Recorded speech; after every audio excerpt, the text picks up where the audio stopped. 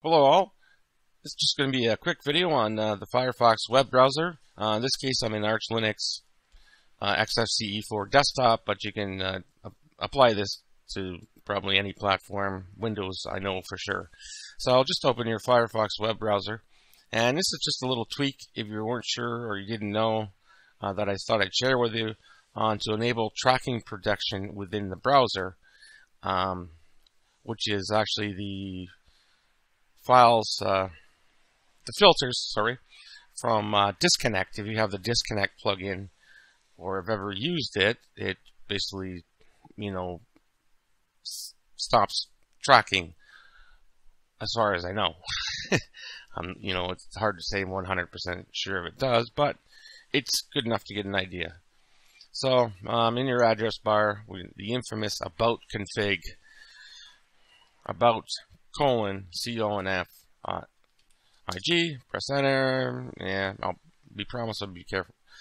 I'll be careful, and then um, I think the easiest way is just uh, typing, start typing a keyword in, such as tracking, and there it is there, privacy tracking protection enabled, and I have it the boolean, which is true or false, zero one, um, to true. If I, uh, by default, it's off. So just go to here, double click, and turn it on.